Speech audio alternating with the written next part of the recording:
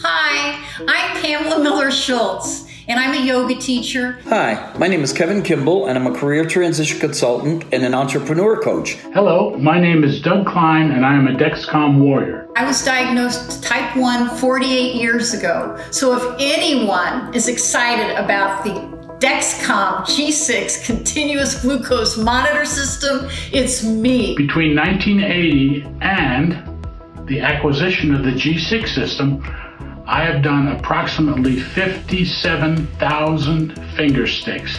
But you know what? That's over. Let's take a look at the three components of the system.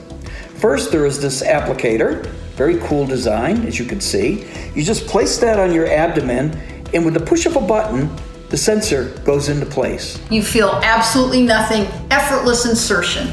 And in that little plastic sensor, you put your transmitter. It's so thin, you just snap it in. It will send your glucose readings to either the receiver that comes with the kit or you can use your phone.